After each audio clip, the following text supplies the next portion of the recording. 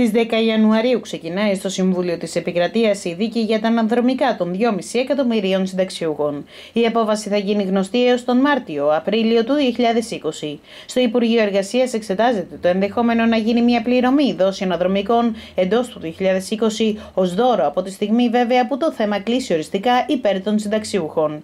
Η μάχη που θα δοθεί στο ΣΤΕ σε λίγες ημέρες αφορά τις μειώσεις που κρίθηκαν οι διάκυρες με την πρώτη απόφαση του ίδιου δικαστηρίου τον Ιούνιο του 2015. Πλην όμω συνεχίστηκαν έκτοτε να επιβάλλονται παρανόμως και δεν επιστράφηκαν στους συνταξιούχους μέχρι σήμερα.